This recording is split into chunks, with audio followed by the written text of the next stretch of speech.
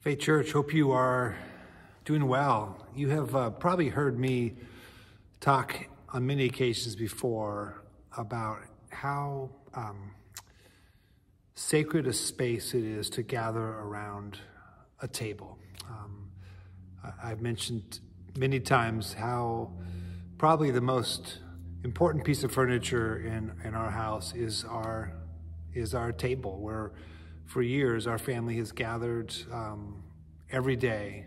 Now it's just down to two of us, but we, Esther and I, still, whenever we can, we sit down there and we have a meal together. Um, so much has happened around that table. It's been some some uh, good conversations, some hard conversations, a lot of formation with our kids and guests, and it's just. Uh, I, I've always been intrigued by the sacredness of that space around the table.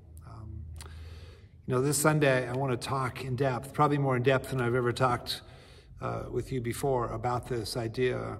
Um, we're going to use a, a, passage from Luke chapter 5, uh, starting, I think, verse 27, where uh, Luke tells us the story of Jesus calling uh, Levi to be his disciple.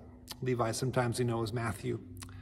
And then how Levi invites Jesus and his friends to uh, a feast around a table with a lot of other people that uh, some other religious people didn't think Jesus should be sharing a table with. And um, anyway, we'll explore that story, but it's a beautiful way to enter into this idea of what is it about gathering around a table that is um, not only a place where we meet Christ, not only a place where we meet one another as brothers and sisters in Christ, but also a place where we may be able to most profoundly share Christ with those who don't yet know him.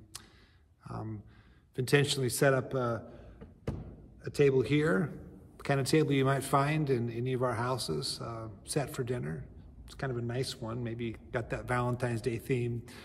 Um, but it's a beautiful contrast to the table that's behind me here, the Lord's table. And uh, I think there are a lot more connections than sometimes we realize between what we do on a Sunday morning around the Lord's table when we break bread, and what we do or might do around other tables in our homes or in restaurants or in coffee shops or wherever we might meet at ordinary times and ordinary places with one another and with others around tables to break bread.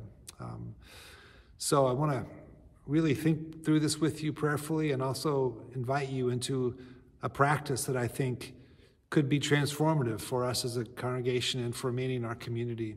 Um, so, really hoping that you will be here Sunday. Um, it'll be a blessing to be together.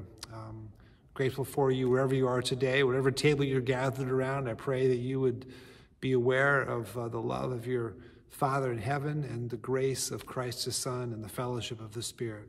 Peace.